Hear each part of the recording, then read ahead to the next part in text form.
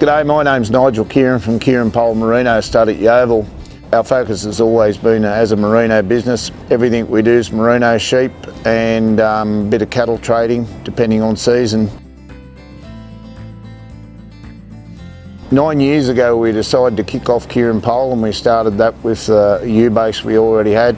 And we pretty much looked at what it was that merino industry was missing and the big thing they were missing was fertility, doing ability and growth and that's what we've concentrated on for nine years and used a lot of um, embryo transfer and um, AI to do that so pretty much every year we AI three, three and a half thousand ewes and those ewes are joined to about six different sires that have the best data set with the best fleece weights with the best growth as well as structural soundness and muscling that we can find.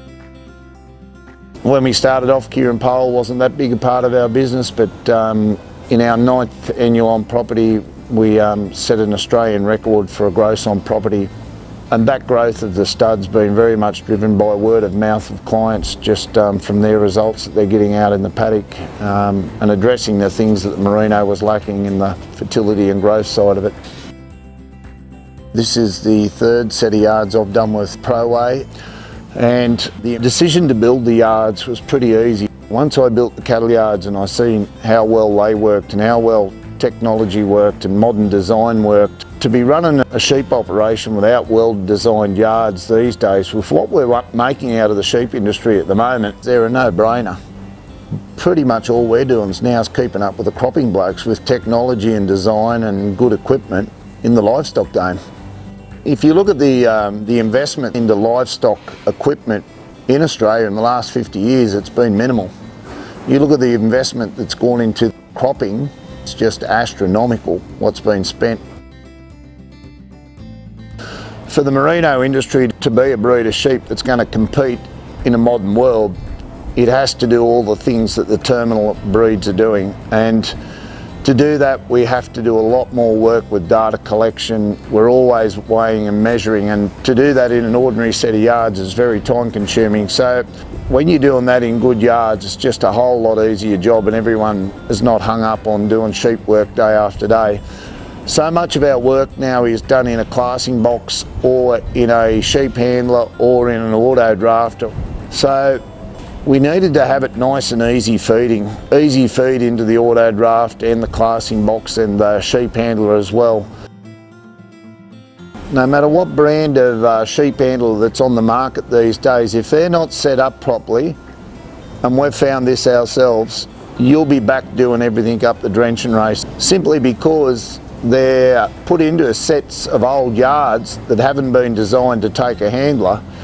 So yeah, I think the design of these yards and the reason why they're built like they're built when it comes to feeding uh, sheep handlers, auto drafters, your scanning boxes, uh, pregnancy and doing your meat traits, it's just so much simpler and made um, our data collection process a lot more streamlined and a lot more efficient labour wise. One of the reasons I like working with ProWay is they're continuously improving design and continuously improving products they use and there's heaps of my ideas that have gone into these yards where they've actually taken my idea and made it better again. One of the great products that ProWay's come up with is the adjustable lead-up races and um, what ProWay have done is designed an easy process of adjusting the race. It only takes about 30 seconds to adjust both races for width and once you get your width set right for the animals and the size of the animals you're actually working with, it just makes the flow into your handlers or whatever you're using so much easier.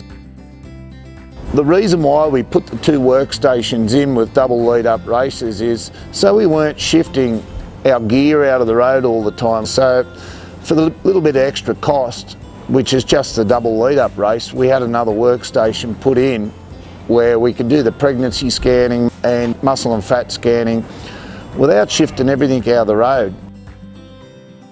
A lot of our contractors are hard to get. Uh, scanning contractors for pregnancy scanning, your contractors you use for doing muscle and fat scanning, they're doing their dates six months out in advance. And to have a roof here where we can store all the sheep We don't have to cancel days because of bad weather. It just makes everything so much more efficient. The actual yards, you could hold three and a half thousand sheep in here and work them quite easily, but it's it's not so much about how big your yards are, it's how good your design is so you're not shifting the sheep out of your road all the time to get a particular job done. We've gone and put um, macca catches on a lot of the gates and it's just so easy to open and shut. Just grab the handle and open the gate straight away and the sheep's out and into another pen. Another part of your design process is working out where you're going to put your PO gates, your little access gates so you're not jumping over fences all the time and put as many in as you can because you're always using them.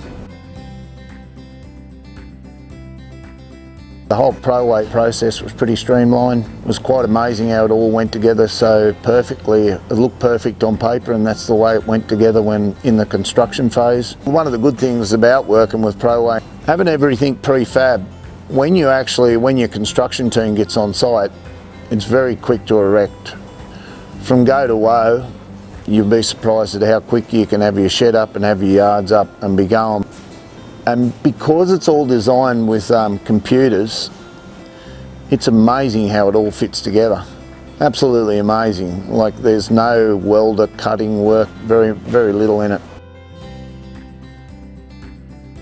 One of the big things I come to the realisation a few years ago was if you think you can't afford it now, I guarantee you in 10 years you still won't be able to afford it. So you just bite the bullet and put it in and do it your payback times, you know, it's not that big. If I put a 20 cent levy on these sheep every time they come into the yards, I think I worked it out, it was only seven and a half years that we had it paid for. And it might seem a big lump sum at the time when you do it, put the yards and shed and do your earthworks and plumbing and all that, but you know, your payback time's not, not that long and you'd never look back and you just enjoy doing stock work every time.